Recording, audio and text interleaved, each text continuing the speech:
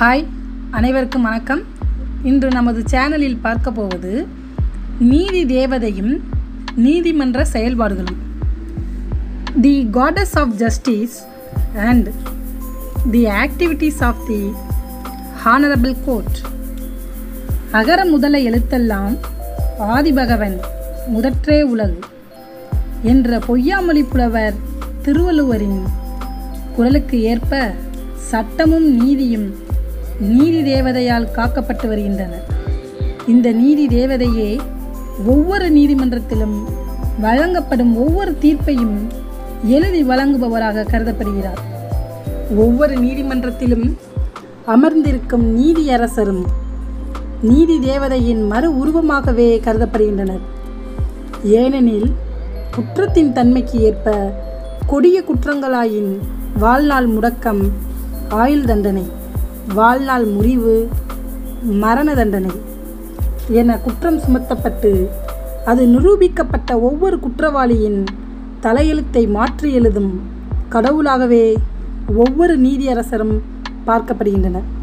நீதி தேவதை சட்டத்தின் முன் ஏழை பணக்காரர் உயர்ந்தோர் தாழ்ந்தோர் அரசு மற்றும் அரசியலில் பெரும் பதவியில் உள்ளோர் மற்றும் சாதி மத பேதமின்றி சட்டத்தின் முன் நிற்கும் எவரையும் யார் என கண்டுகொள்வதில்லை.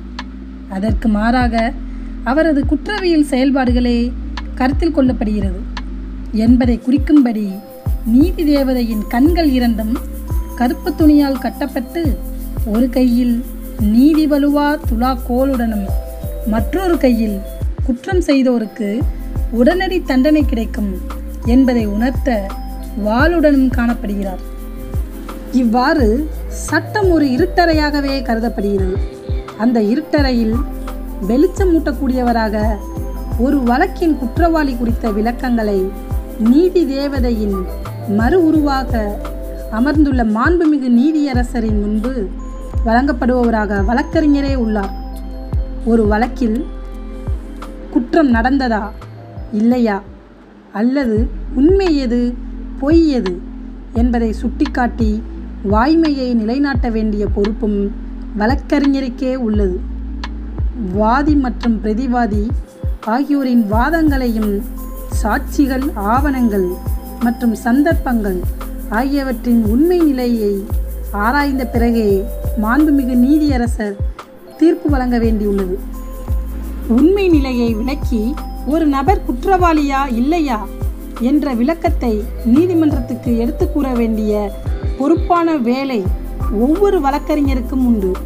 வாய்மையே வெல்லும் என்னும் வாசகம் ஒவ்வொரு நீதிமன்றத்திலும் எழுதப்பட்டிருந்தாலும் அந்த வாய்மையை நிலைநாட்டும் திறன் வழக்கறிஞர் கையிலே உள்ளது.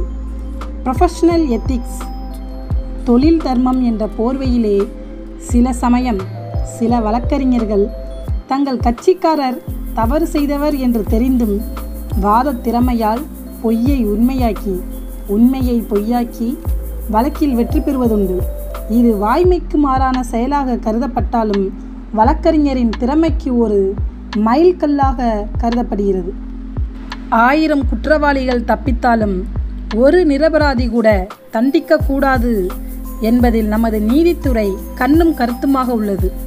ஆகவேதான் குற்றம் சுமத்தப்பட்ட ஒருவர் தான் குற்றம் புரியா நிலையில் அதிலிருந்து தன்னை விடுவித்து கொள்ள அவருக்கு எல்லா வாய்ப்புகளும் சந்தர்ப்பங்களும் வழங்கப்படுகின்றன. நீதிமன்றங்கள் எவ்வளவுதான் தண்டனை வழங்கி சமுதாயத்தை திருத்த முயற்சி செய்தாலும் மாற்றம் என்பது ஒவ்வொரு தனி மனிதனிடமிருந்தே உருவாக வேண்டும். குற்றங்கள் பற்றியும் சட்டங்கள் பற்றியும் பொதுமக்களுக்கு போதுமான விழிப்புணர்வு ஏற்படுத்துவதன் மூலமே இது ஓரளவு சாத்தியமாகும். தனி மனித ஒழுக்கமும் ஒவ்வொரு சமுதாயத்தின் மீது ஏற்படுத்தி கொள்ள வேண்டிய தார்மீக அக்கறையுமே குற்றங்கள் குறைய ஓர் ஆரோக்கியமான சூழ்நிலையை உருவாக்கும். அடுத்து மீண்டும் சட்டம் பற்றிய நல்ல சமுதாய சிந்தனையுடன் சந்திப்போம். குற்றமற்ற ஒரு சமுதாயம் உருவாக பாடுபடுவோம் நன்றி வணக்கம்.